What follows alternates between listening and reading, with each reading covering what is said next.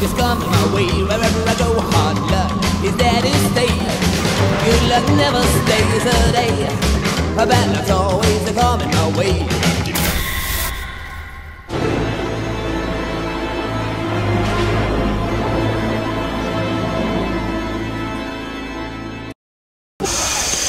Today we find ourselves in Animal Kingdom getting ready to explore Pandora, the world of Avatar. We're to check it out during the daylight and try to get some cool shots at night because it turns all bioluminescent. Is that how you say it? Bioluminescent. It's kind of like glow in the dark with some pretty colors, so it should be really neat. Let's go check out this awesome world.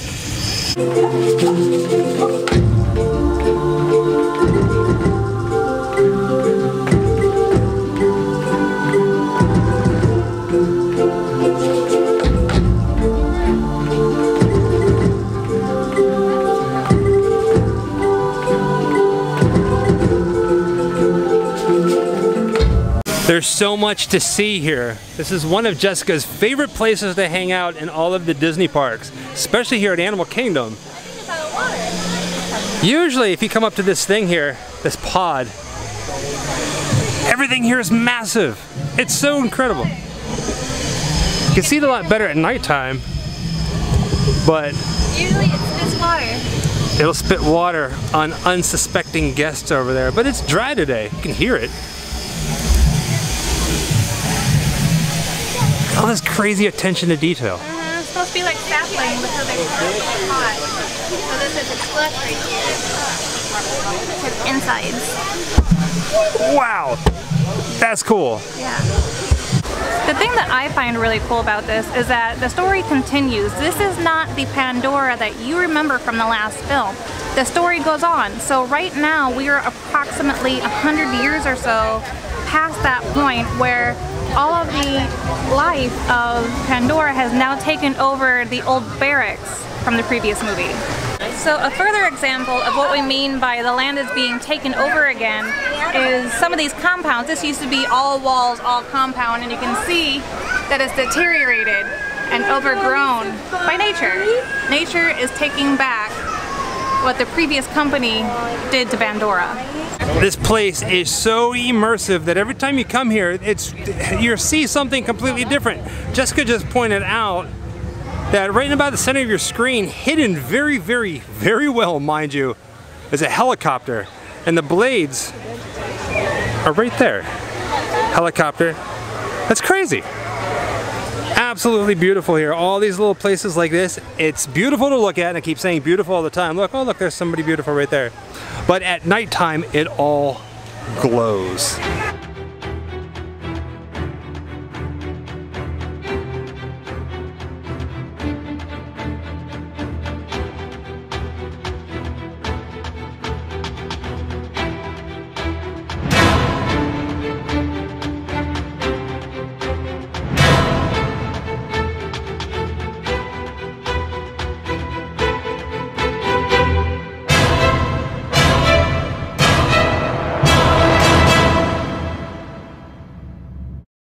So the big one, Flight of Passage, the standby time is 160 minutes. It's crazy. Fast Pass line is right there. We have a Fast Pass, of course, and we're going to go ride Flight of Passage. It's an amazing ride. The cool thing about getting to do a fast pass here is that you go directly into the mountains.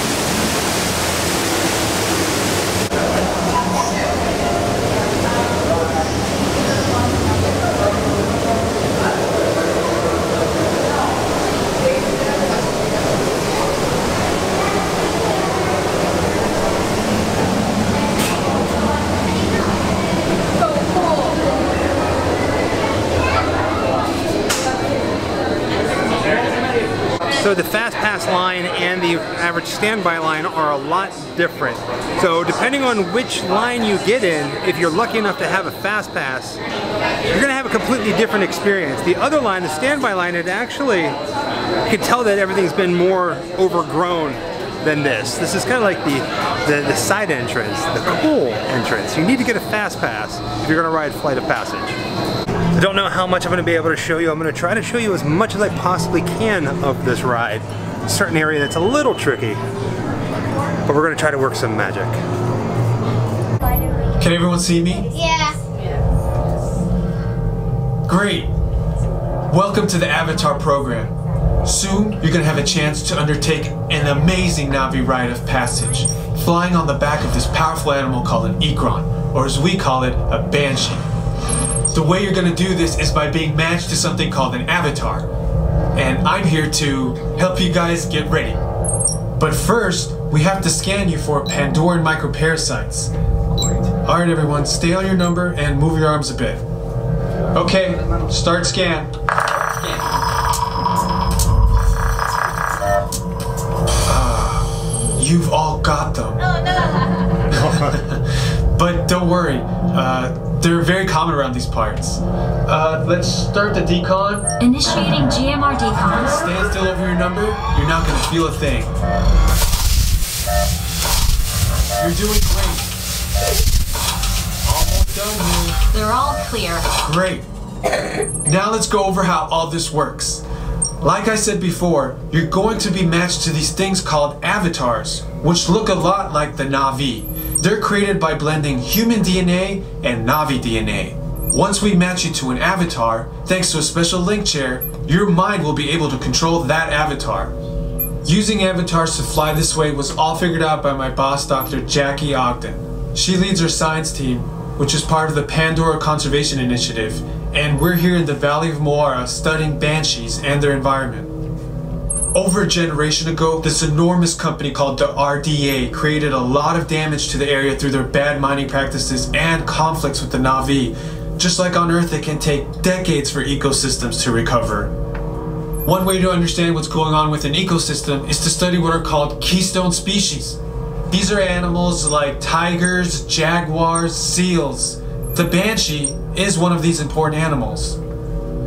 Dr. Ogden is the foremost expert on studying the Ikran and has spent years researching them. Unfortunately, banshees live high in rookeries and humans can't get anywhere near them without becoming their lunch. But the Na'vi and avatars can.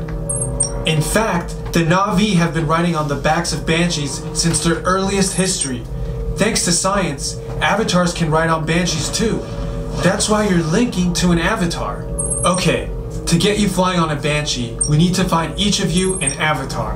Um, let's uh, prep the genetic sampling. I'm on it. Okay, um, first we need to find the compatible match of your genetic material with the genetic material of one of the avatar bodies that we already have. Once we do that, you'll be able to link to that avatar and uh, fly. Help us out and move around a bit. Almost. Yes, got him. Now, let's find you your avatar matches.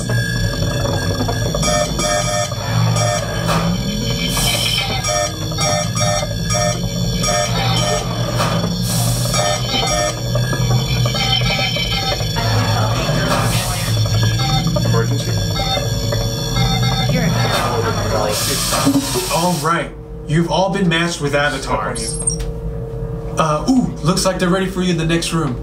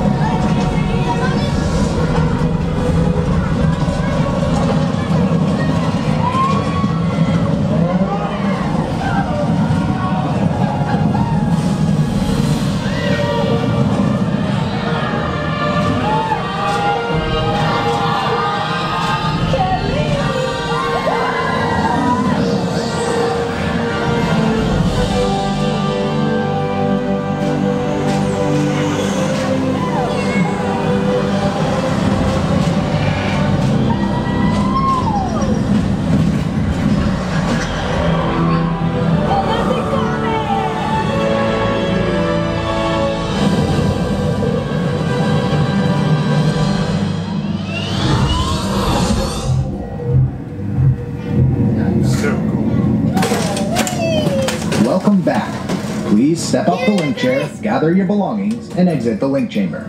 Alright, so that was amazing. That's always amazing. We love riding this ride. It always feels a little bit different. Have you rode this? If you're watching this, yeah, have you rode it? Or do you really want to ride it? You need to come to Animal Kingdom. It'll blow you away. So it's time for lunch, and usually whenever we're here, we like to stop inside the Satu'li Canteen. Probably one of the most tastiest places to eat in all the Disney parks. Again, with anything Disney related, it's pretty quite immersive. There's indoor seating as well as outdoor seating. And basically it is a military barracks, I guess you would say, that's been taken over, that's also been taken over. Let's take a look at the menu. It's so pretty in here. This is one of your favorite places to eat. Oh, looking up.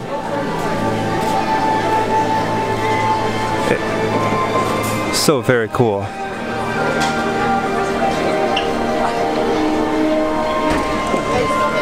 Right as you walk in, if you take the time, you can actually see them cooking over here behind one of the glasses.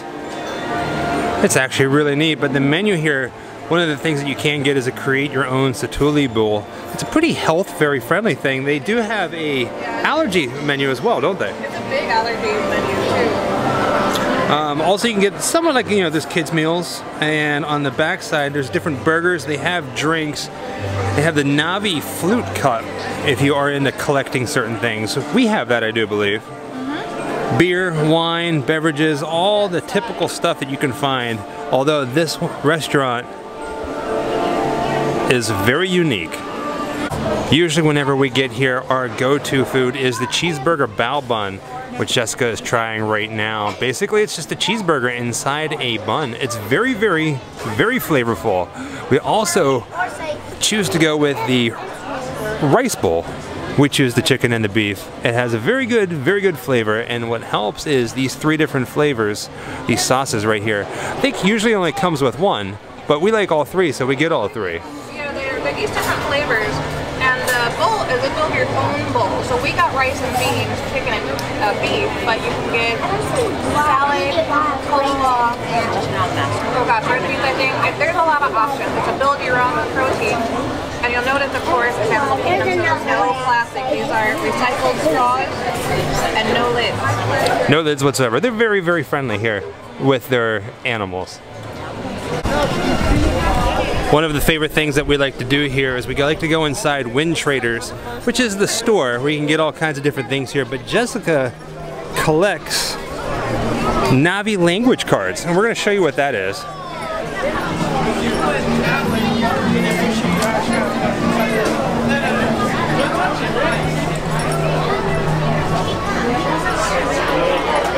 All right, so the Avatar cards is one of your obsessions here. Yeah. Tell us, what exactly is the Avatar language card? If you're a collector of cards, I would say these are a definite to have. Um, this is what they look like. They come in different colors because different colors mean different things, but basically, they're language cards. Rise to the challenge means Sivako. Glowworm. Can't say it. That's a good uh, pronunciation for that. Chase. Hawaii. Sharp. Latex. Cliff. Ox. And, and so on and forth. There's words for words no, dire horse, species, shy is nim, spear, tokoru, and it goes on and on. So There's close to 100 cards or something like that, right? you can purchase the basic set, which is 1 through 90, and you can buy them in packs. Um, and you can also get a little device that will translate them for you. It speaks to you when you put a card in, and I'll show you that here in a second. And um, there are a set of, I believe, 12 that you can only get from cast members here in the Avatar section of um, Animal Kingdom. I'm sorry, Pandora. and then there's one very special card that you cannot get in the parks. It was a D23 exclusive. And I I have it at home. I don't have it with me to show you while we're here because it's my prize baby. Um, so total, that makes it, I believe, 103 cards total. This is the Na'vi translator. When you take these cards and put it into the machine and then press a button, it will translate the word for you to help you learn the language. I didn't bring mine today because I brought a small purse, but it's really fun to use. They are very cool. So I'm gonna be honest, I like the movie Avatar. I do not love the movie Avatar. I mean, I don't go too crazy over this, but Jessica, on the other hand, she loves it. She loves coming here. She's always asking, can we please go to Animal Kingdom? Check out this Na'vi. This is actually behind the case. This is pretty amazing. And if you want to, you can even get one of your very own Ikrans. They're like little puppets. They sit on your shoulder and you can control them. Like this little guy right there. Not one for making beaded necklaces, but this is a very cool setup that they got going on. And for 19.99, you can make your very own Avatar necklace. Light up souvenirs, wood sprites. These are new, aren't they? So the package calls it a wood sprite, but you'll remember in the movie, these were called um, spirit sprites, I believe it was, um, because they were a sign from Eywa, their deity. Very cool. Basically, they're alien jellyfish. I had to say it. In the air. In the air. Air, air jellyfish. And for all you kids who love the stuffies, the stuffed animals, like Jessica here, they have a selection just for you. It looks like an avatar of My Little Pony. It does. It says plush horse. It is. Well, this is. What is that? That's his little antenna. Antennae. Light up. It's bioluminescent. This is what lights up at night. And then this guy is the Thanator. That's cool. He's the little like wolf-like character. That's the one that we see in the Na'vi River, right? That's they're walking like soon as it It comes like a down.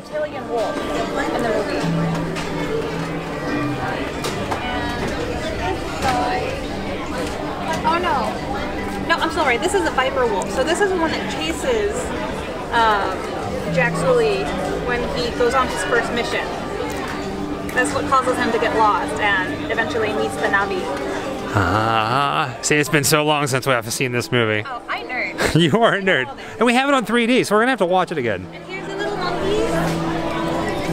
Little- They're like little. There was monkeys in the movie. Yes, yes. Why don't I remember this? They have wings, but they kind of fly. They jump tree to tree. They're like a monkey and a flying squirrel. Huh? And of course, we can forget the banshee. Right? Got them in three colors here. You've got purple, turquoise, and blue. Doesn't want a baby Na'vi? What's this thing? That's the, um, you see these around the giant um, flowers that pop up, and he goes and he starts touching them. Oh yeah, yeah, yeah. It's not really a character meet or a show, but they do have a cast member that comes out in one of the giant mech suits from the movie. He comes out, does a tutorial, answers some questions, puts on a little bit of a show. You get pictures with him. Should be coming out any moment now. calling me Ricky? I'd like to see that. It's just me, this suit. Uh-oh. Oh,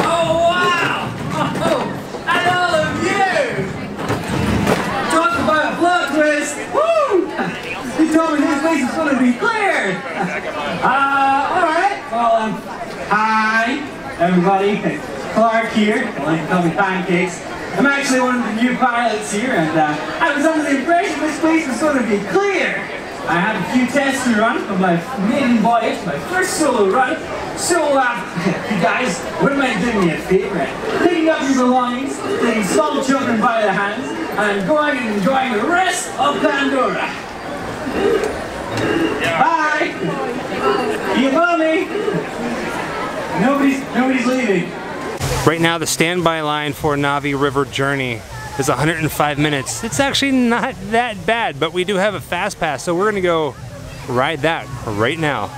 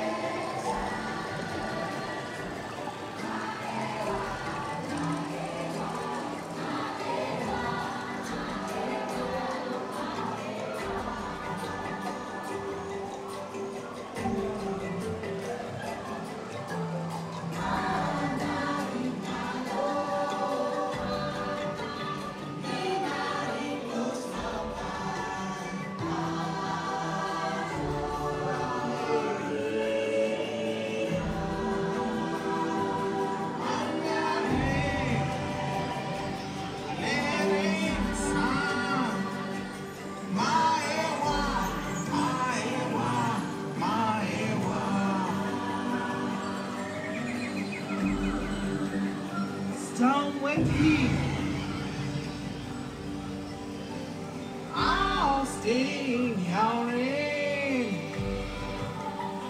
Son, no canal.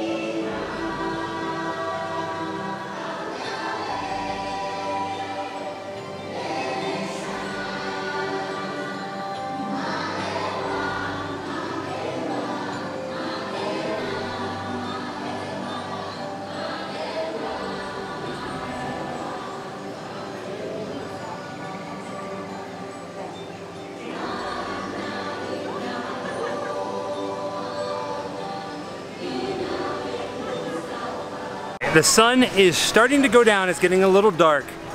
We've shown you Pandora during the day. Here's Pandora at night.